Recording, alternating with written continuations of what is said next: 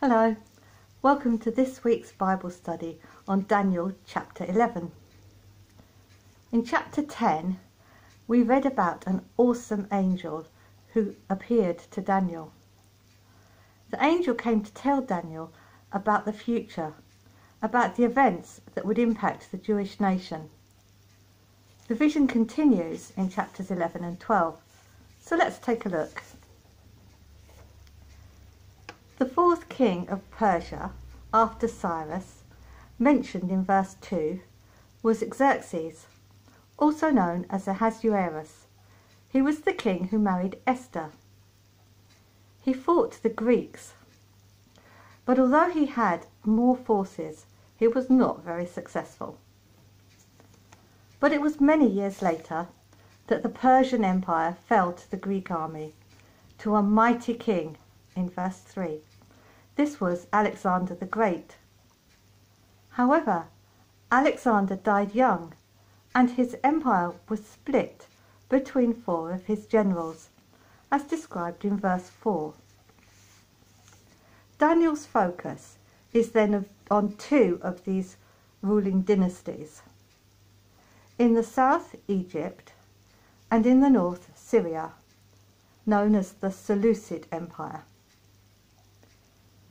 The Jewish people had returned home to the land of Israel, and they were stuck between these two rival powers. Not a good place to be. The angel describes ongoing conflict between the king of the north and the king of the south through several generations. These people and events can be identified in history. I'll just give you some examples. In verse 10 and 11, it was Antiochus III who attacked Ptolemy IV of Egypt's army with a mighty army, 62,000 infantry, 6,000 cavalry, and 102 elephants, but he was defeated. However, Ptolemy IV did not remain strong he was not interested in ruling, only in having a good time. Verses 18 and 30 refer to the Romans. Antiochus III was defeated by a commander from another land. This was the Roman consul, Scipio. Antiochus IV was confronted by a fleet of ships from Rome commanded by Popilius Laenas, who forced him to abandon an attack on Egypt. The despicable man of verse 21 was Antiochus IV, also known as Antiochus Epiphanes. He reigned for 12 years. His army was successful. He rewarded his supporters and became strong he claimed to be a god and was extremely hostile to the Jewish faith. He fought against Egypt and on the way home he attacked the Jews. Again he fought against Egypt, but the Romans sent ships and forced him to give up attacking Egypt. Antiochus IV vented his anger on the Jews and began a reign of terror the Jews were forced to give up their faith or be killed. So here are a few thoughts on this saga. The ongoing conflict was so pointless. It caused a lot of suffering, but no one really gained in the long term. Kings came to power and lost it again. They killed whoever opposed them, but then they died. There are still power-hungry regimes today. The cycle goes on and on. Empires come and go. Persecution still happens. Muslims and Christians are persecuted in China, for example.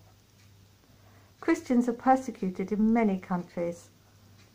Even now, Christians affected by the COVID pandemic are being refused food aid unless they convert to the majority religion in parts of Bangladesh, Malaysia India and Sudan. We may think that human nature is improving with time, that it's better now in the 21st century, but we should not be under any illusion. Human nature is what it always has been. The persecution of the Jews by Antiochus Epiphanes was so extreme that God warned his people ahead of time through this prophecy. This would give them courage that God was still in control, even if they didn't understand why he allowed the persecution. And it would reassure, them that the persecution was for a limited time. And it gives them hope that during this time, the people who know their God will be strong. The best way to prepare for trouble is to know our God. So how does knowing our God make us strong? Here are some ways. Knowing God's character, His trustworthiness, His power, His love, means that we can trust Him. Knowing His promises gives us hope. Knowing His commands helps us make good choices, not being tempted into wrongdoing. It helps us be discerning and to be committed to the truth.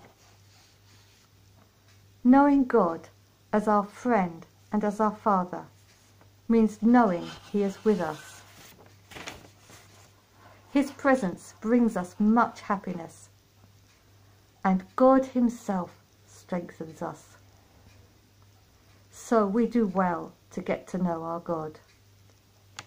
The people who know their God will be strong. Thank you for listening. Bye.